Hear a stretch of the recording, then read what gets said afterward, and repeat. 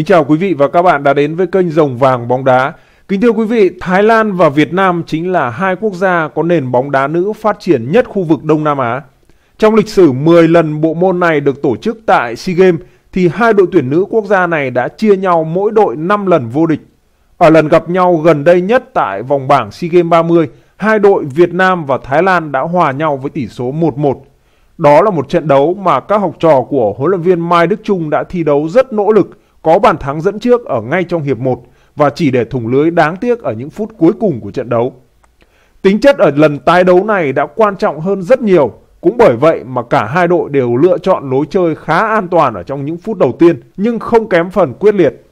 Trên khán đài của sân vận động Rizan Memorial, huấn luyện viên trưởng đội tuyển U22 Việt Nam ông Park Hang-seo cùng với các cộng sự cũng đã có mặt để tiếp sức cho các cô gái Việt Nam.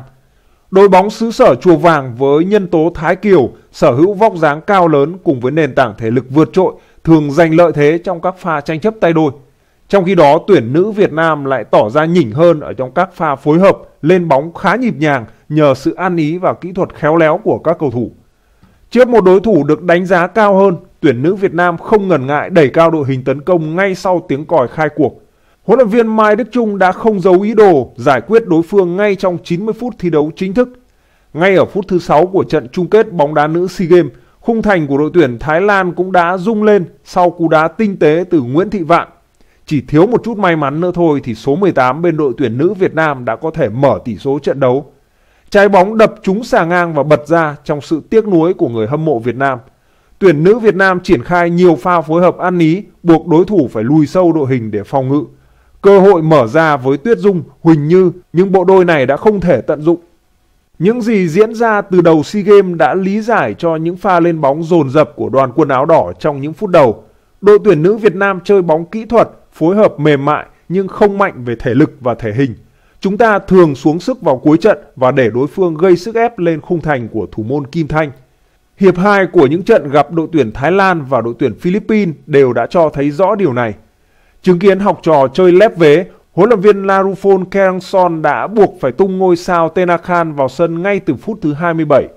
Sự xuất hiện của tiền vệ có thể hình vượt trội này đã giúp cho tuyển nữ Thái Lan giành lại được thế trận. Đối thủ thực hiện nhiều pha treo bóng, sút xa nhưng không thể đánh bại được hàng thủ chơi tập trung và lăn xả của tuyển nữ Việt Nam. Hiệp đấu đầu tiên khép lại mà không có bàn thắng nào được ghi. Tuyển Thái Lan trung thành với lối chơi tạt cánh đánh đầu ở hiệp 2. Phút thứ 57, Tanekan Dangda đã đưa được bóng vào lưới của thủ môn Kim Thanh nhưng bàn thắng đã không được công nhận vì lỗi việt vị. Sau khi may mắn thoát thua, đội tuyển nữ Việt Nam đã sốc lại đội hình và không để cho đối thủ có khoảng trống để dứt điểm. Kim Thanh, Trương Thị Kiều cùng với đồng đội đã có một trận đấu đầy nỗ lực trước sức ép liên tục từ đối thủ. Ở chiều ngược lại, đội hình của Thái Lan có nhiều cầu thủ thể hình rất tốt. Người Thái cũng tương tự như là Philippines, rất thích dùng những đường bóng bổng để đánh vào điểm yếu của đội tuyển Việt Nam. Nếu có thể ghi được bàn thắng sớm, đội tuyển Việt Nam sẽ chủ động hơn rất nhiều và tránh bị đẩy vào một cuộc đua về thể lực. Rất tiếc là cú đá của Nguyễn Thị Vạn đã không đưa bóng được vào lưới. Những phút tiếp theo, người Thái dần lấy lại thế trận và trận đấu chuyển sang cục diện ăn miếng trả miếng. Hai bên đều tổ chức được những đợt lên bóng có đường nét. Thái Lan một lần nữa đã đưa được bóng vào lưới của Việt Nam.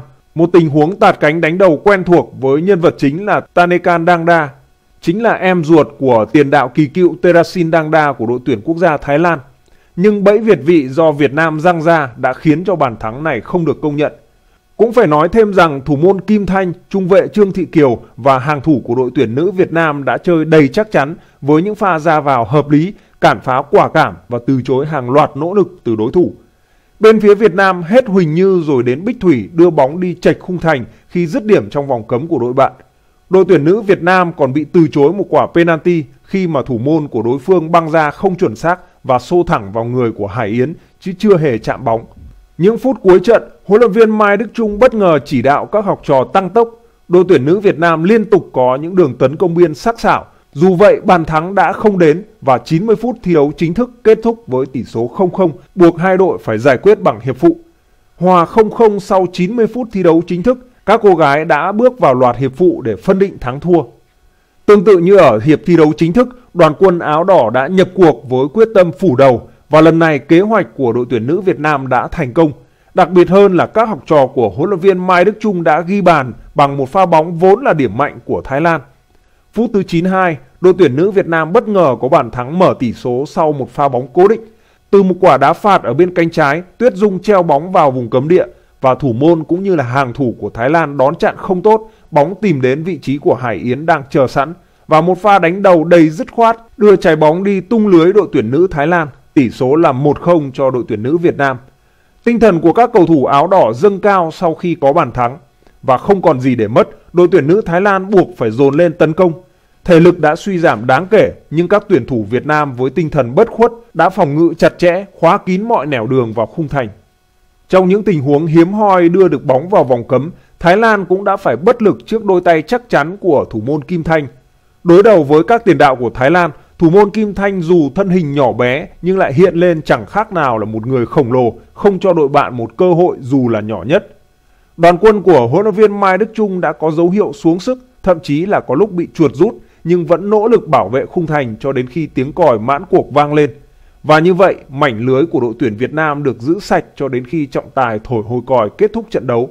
Một lần nữa các cô gái vàng lại đăng quang ở SEA Games. Đó là phần thưởng xứng đáng cho những cố gắng vượt bậc ở trong suốt giải đấu. Họ đã đạp bằng mọi khó khăn, trở ngại để có thể khẳng định được vị thế hàng đầu Đông Nam Á. Một chiến thắng không thể tuyệt vời hơn. Trận đấu đã để lại trong lòng người hâm mộ Việt Nam những xúc động dâng trào khi chứng kiến những cô gái áo đỏ liên tục ngã trên sân rồi lại vùng lên chiến đấu quả cảm để có thể giành được chiến thắng. Trận đấu đã khép lại với chiến thắng 1-0 dành cho thầy trò huấn luyện viên Mai Đức Trung. Tuyển nữ Việt Nam chính thức bảo vệ thành công tấm huy chương vàng bóng đá SEA Games. Một khán giả rất đặc biệt của đội tuyển nữ Việt Nam có mặt ở trên khán đài sân vận động Rizan Memorial ngày hôm nay mà chúng ta không thể không nhắc đến, đó chính là huấn luyện viên trưởng đội tuyển U22 Việt Nam, ông Park Hang-seo. Huấn luyện viên Park Hang-seo đã dành chọn ngày 8 tháng 12 cho U22 Việt Nam nghỉ xả hơi sau chiến thắng 4-0 trước U22 Campuchia ở bán kết SEA Games 30.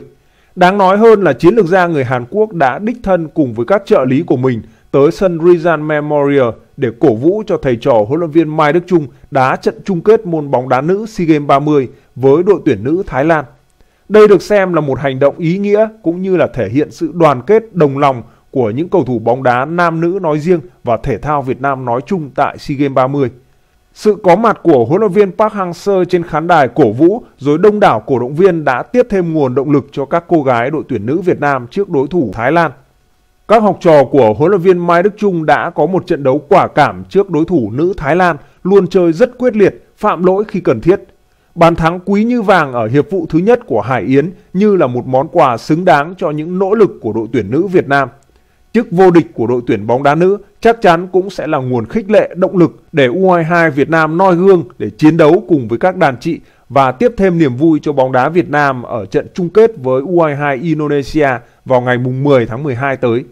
Với chiến thắng 1-0 trước Thái Lan để giành tấm huy chương vàng SEA Games 30, tuyển nữ Việt Nam đã có lần thứ 6 lên ngôi vô địch ở giải đấu này, vượt qua con số 5 lần của đội tuyển nữ Thái Lan. Cộng cả tấm huy chương vàng bóng đá nữ, đoàn thể thao Việt Nam đến thời điểm hiện tại đã giành được 66 huy chương vàng và cán đích chỉ tiêu đề ra. Thật tuyệt vời với các học trò của ông Mai Đức Trung là chỉ trong vòng hơn 3 tháng sau khi giành ngôi hậu AFF Cup 2019, đội tuyển nữ Việt Nam đã bảo vệ thành công ngôi vô địch SEA Games. Quý vị và các bạn hãy để lại những bình luận của mình ở phía dưới video này. Rồng vàng bóng đá xin cảm ơn những bình luận của quý vị và các bạn. Còn bây giờ xin chào tạm biệt và hẹn gặp lại quý vị và các bạn trong những video tiếp theo.